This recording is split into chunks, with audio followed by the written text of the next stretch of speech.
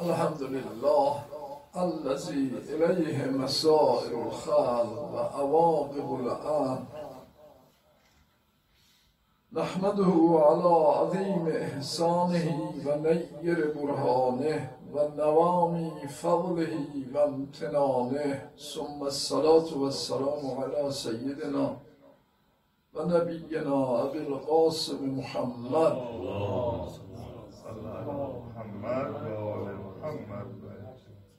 صلى الله عليه وعلى أهل بيته الطيبين الطاهرين المعصومين الهداة المهديين واللعنة الدائمة على أعدائهم أجمعين إلى يوم الدين.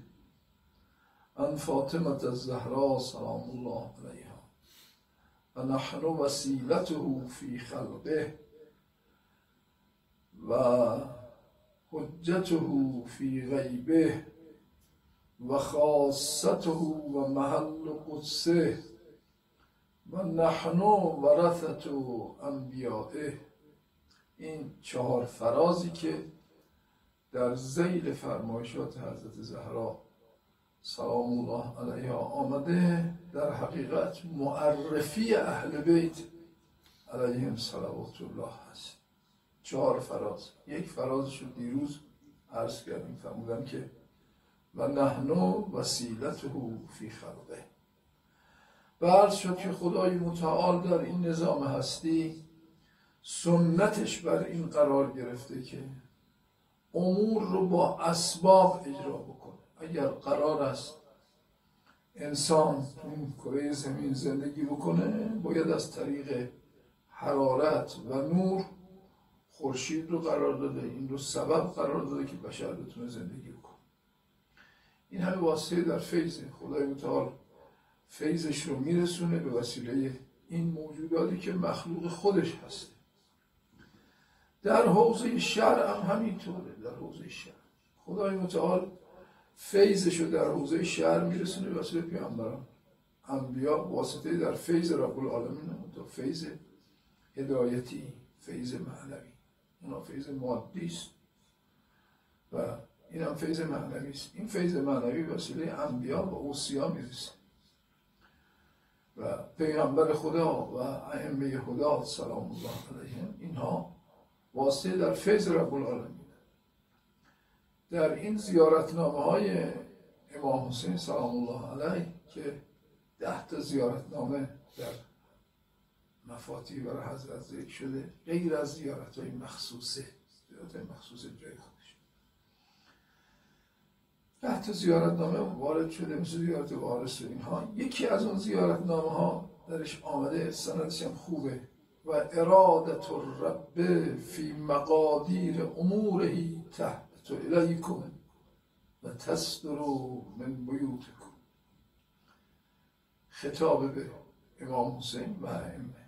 اراده پروردگار در مقدرات این عالم اول به شما می‌رسه بعد از بیت شما خارج میشه. اراده به فی مقادیر امورهی در مقادیر امور اندازگیری های امور. تحبت الیکم حقوقش به سوی شماست. و تصدر من بیوتکم. و از بیوت شما صادر این معنای همون بساطت در فیضه که تو خیلی از روایات هست. یه وقتی یه کسی از این علمای معاصر حضرت باقر سلام الله علیه به نام قطاده بصری این از علمای عصر مروانی هاست. و خب طبیعتا اونها تایید می‌کردن اینها ایشون در بصره بوده هم.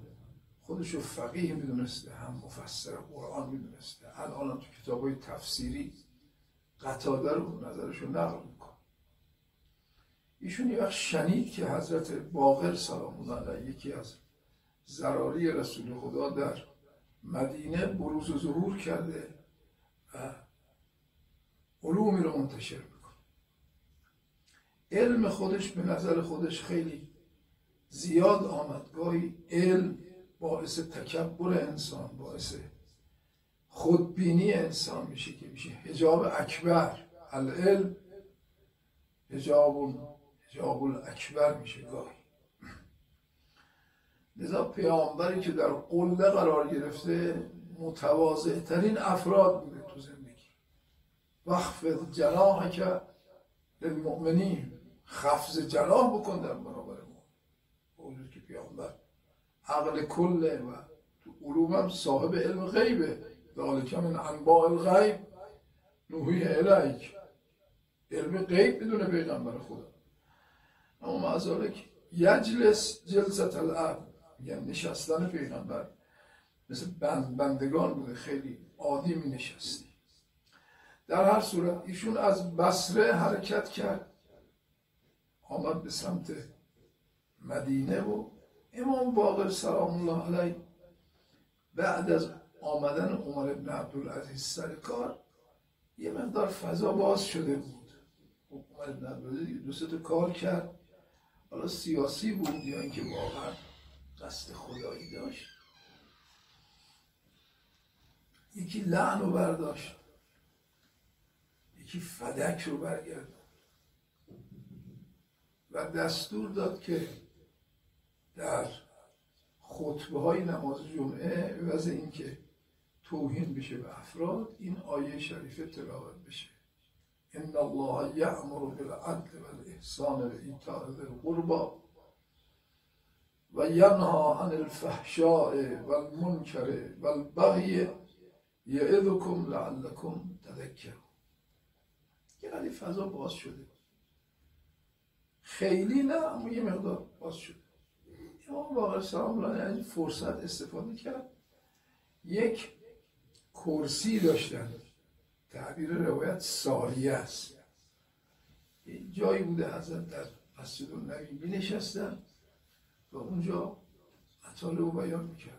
یبقر العلم بقرا پیغمبر خدا فرمود که از فرزندان جابر فرمود. فرمود از فرزندان حسین.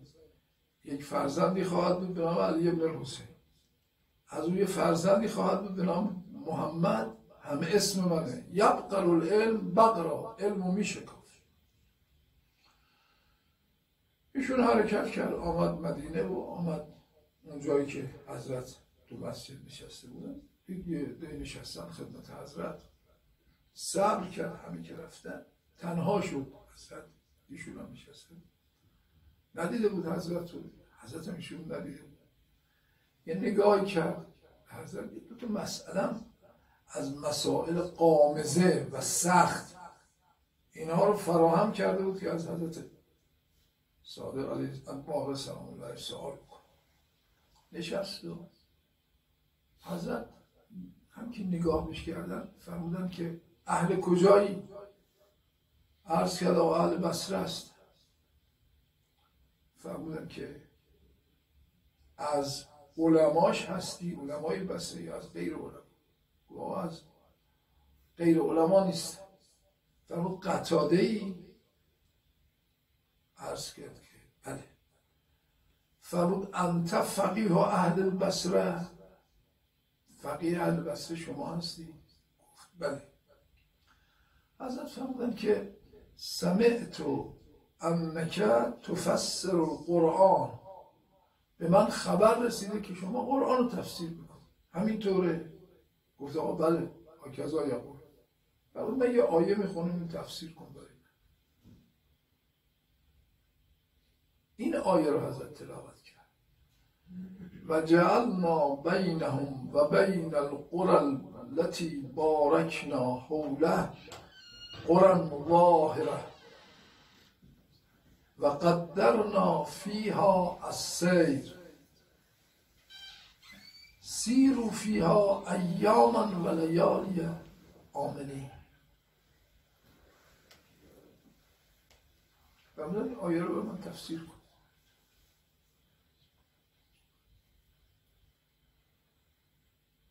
هر چراغ روشن معنای آیه. خدای متعال در این آیه میفرماید که ما میان مکه و شهرها و قریه ها قریه های رو قرار دادیم. و این مسیر رو باید تمام کرد تا به مکه رسید. شما مردم سیر بکنید شب و روز در حال امن و آسایش. یعنی بین شهرتون بین وطنتون تا مکه سیر کنید. آمنین. در امن.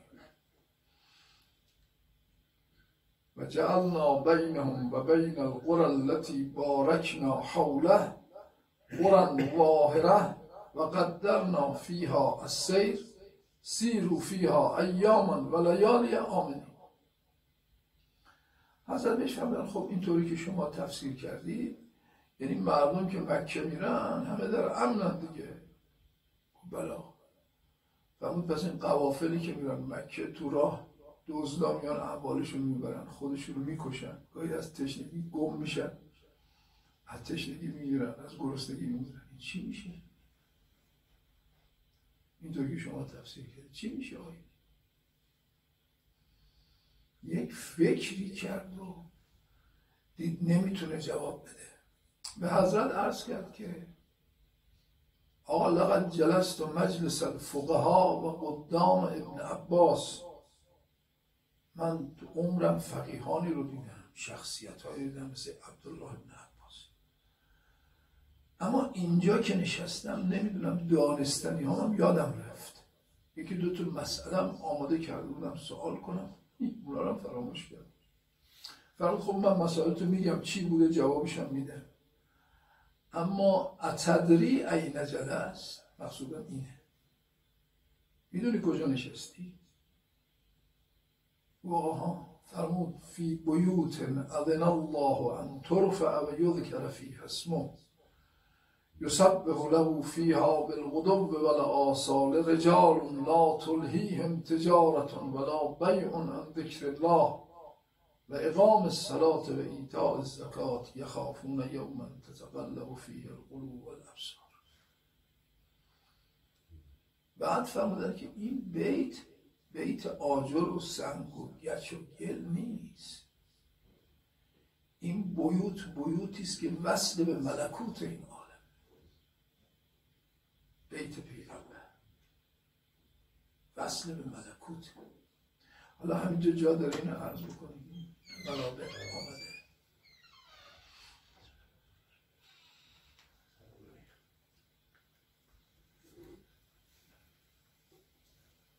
این فی بیوت عدن الله ان ترفع و یذکر فی اسمه کجاست؟ بیت کیه؟ تو این روایت هست که بیت اهل بیت.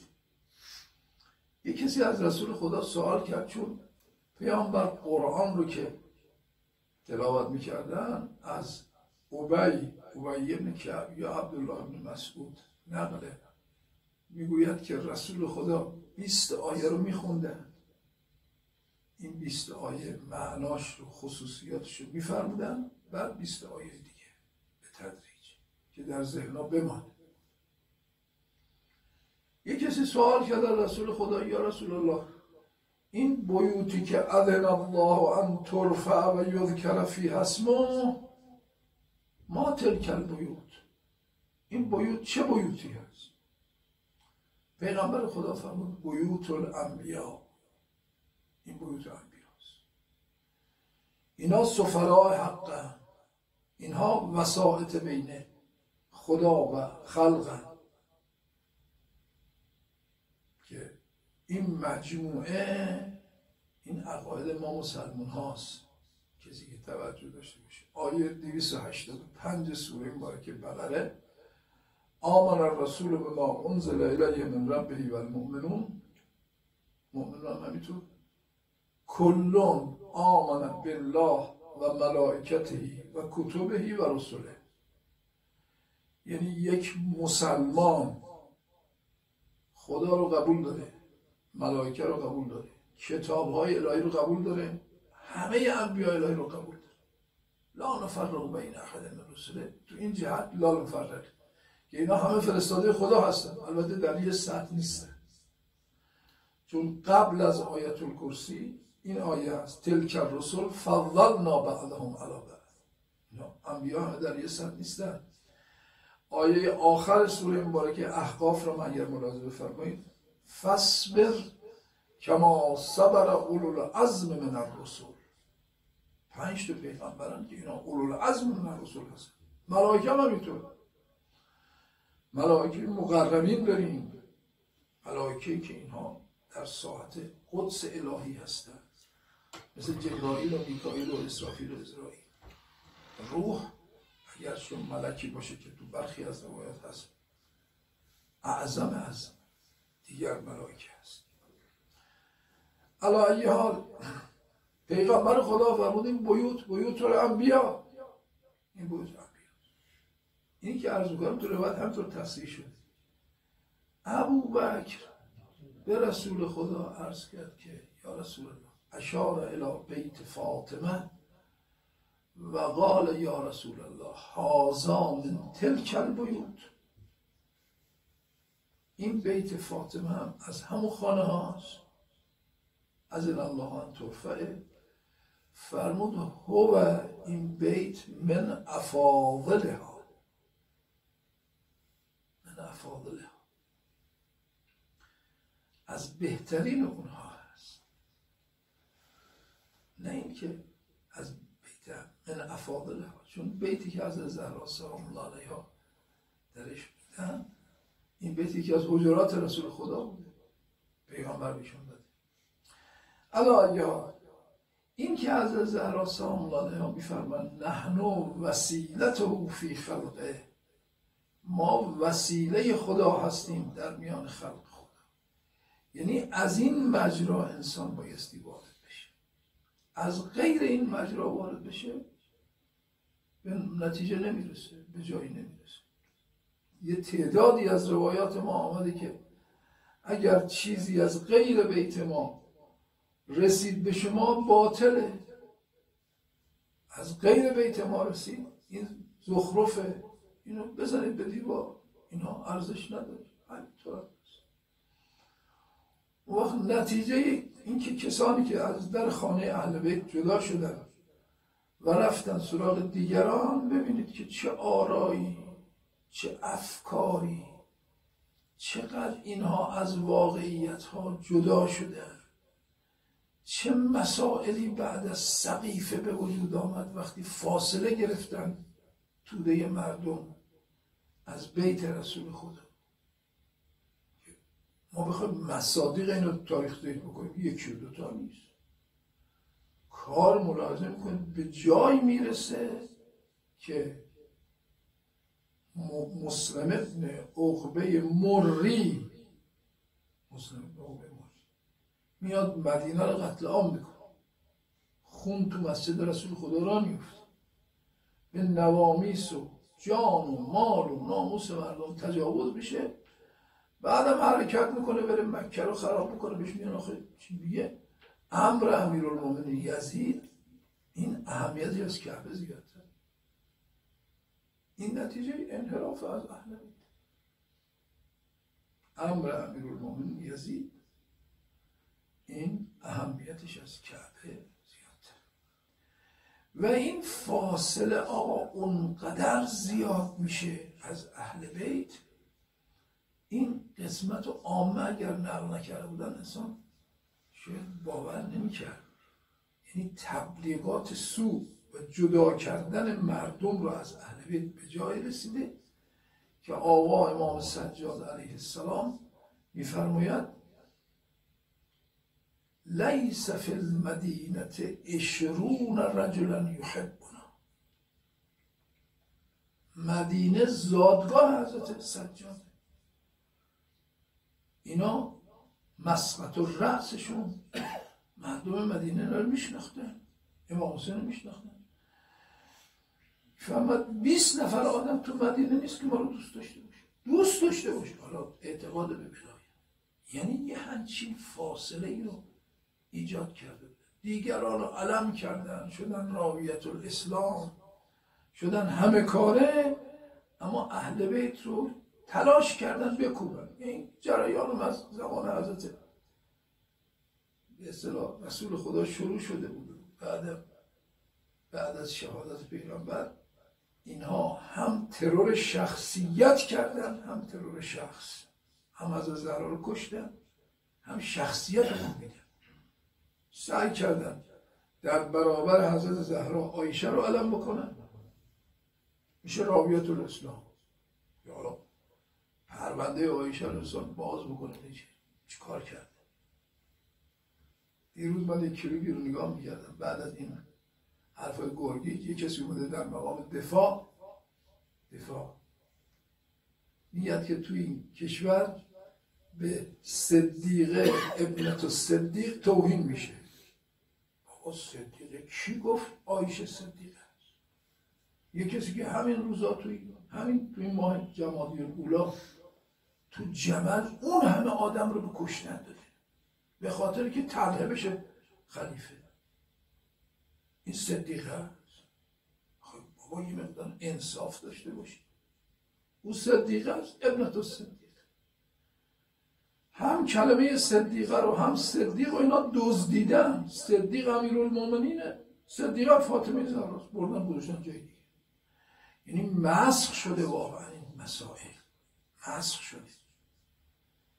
یک حدیثی رو ابن ماجه من اون عرض کنم و دعا کنم. ابن ماجه در این سننش نقل کرده. سنن ابن ماجه در حد صحیح بخاری نیست. برخی میگن صحیح. اما اون نکته مهم این است که زیل این حدیث ابن ماجه میگه رجال و رجال ثقات. میگه این حدیث حدیث درستی. امیر المومنین سلام الله در رهبه کوفه. رهبه جلوی مسجد رو میگه. فرمود انا عبدالله و انا صدیق الاکبر. صدیق اکبر منم. لا یقولها بعدی الا مفتر کذاب. هر کسی ادعا کرد من صدیقم این افترا و دروغ گفته. خب تو کتاب های خود این هاست روایت صحیح هم هست. کی این القاب برداشته داده؟ وقت تو کشور جمهوری اسلامی بلند میشن میگن که صدیقه ابن تو صدیق حرف و همینطور روی هوا زدن. یک زنی که به تعبیر قرآن مجید ان تتوبا الله فقط سقط قلوبکم. اگه توبه بکنن اگر توبه بکنن. اینا یه همچین کسانی بودن. متاسفم بگذاریم. این جایگاه اهل بیت علیهم صلوات الله نحن وسیلته فی خلقه. ما وسیله خدا در میان خلق خداست. السلام علیکی یا بنت رسول الله. روز پونزدهم ماه شاید مثل دیشب یعنی المؤمنین سلام الله علیه. بعد از آنی که فاطمه زهرا رو قسل داد و کفن کرد. آماده شد. به امام حسن فرمود که پسرم برو. ابوذر رو خبر تو منزل کسی نبود. یکی از مشیعین ابوذر سلمان. اینها بودند مشیعین جنازه. آمدن جنازه رو برداشتن. کجا بردن ما نمی‌دونیم. قرار حکمت بر این تعلق گرفته که این قبر مثل مسائب حضرت زهرا. مسائب از زهرا مخفیه. زمان شهادت حضرت زهرا مخفیه و مکان دفن حضرت زهرا مخفیه. حضرت زهرا لیلت القدر روایت وارد یبن الحسن مدد کن. جد متحرت را بیرون ببر. زخانه تابوت مادرت را. سردار بدر و خیبر دیگر ز پا فتاده. دستی به دوش سلمان دستی به سر نهاده. مقداد این سخن را از مرتضا شنیده هنگام دفن زهرا خون از کفن چکیده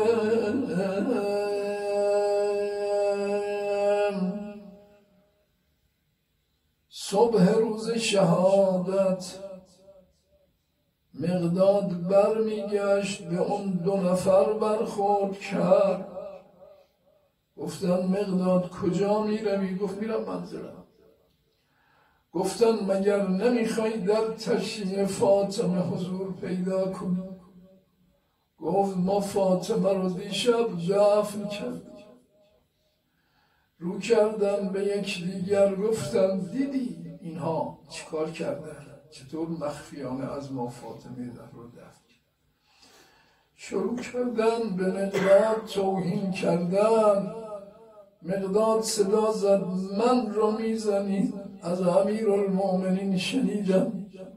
هنگام دفن زهرا هنوز از کمر زهرا خون میره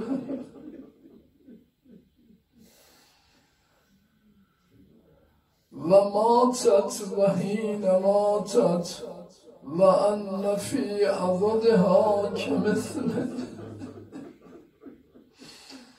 كمثل الدملاج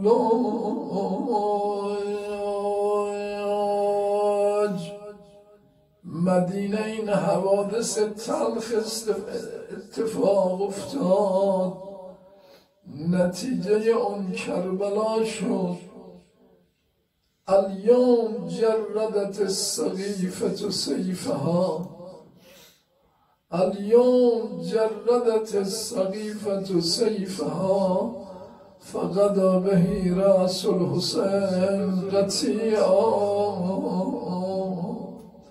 شمشیر سقیفه از نیام بیرون کشیده شد و کربلا حسین شهید شد. فاطمه زهرا رو مجروح کردند با بدن مجروح از دنیا رفت بازوش برم داشت اما جنایت رو بنی امیه به اوج رسوندن در کربلا بدن حسین و پامال سم اسب صلی الله علیک یا ابا عبدالله.